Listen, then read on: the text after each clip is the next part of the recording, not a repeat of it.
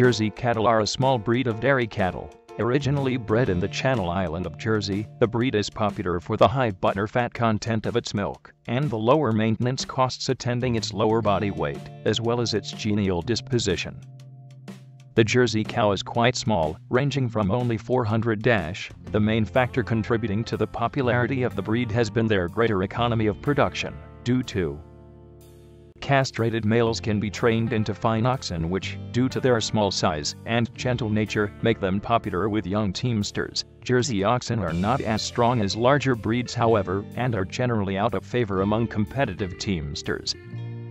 Due to the small size, docile and inquisitive character, and attractive features of the Jersey cow, small herds were imported into England by aristocratic landowners as adornment for aesthetically landscape parks, Jerseys are adaptable to hot climates and are bred in the hottest parts of Brazil.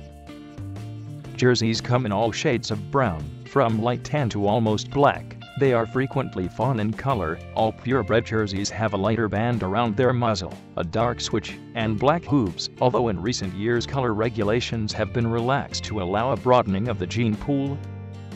The cows are common docile animals, but tend to be a little more nervous than other dairy cow breeds. Jersey bulls are another matter. While all dairy bulls are considered as dangerous animals, Jersey bulls are considered by many to be the least docile of the dairy breeds. The cows are also highly recommended cows for first-time owners and marginal pasture.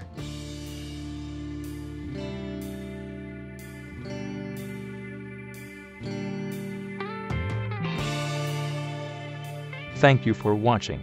For more educational videos, please subscribe to WizScience on YouTube or visit wizscience.com.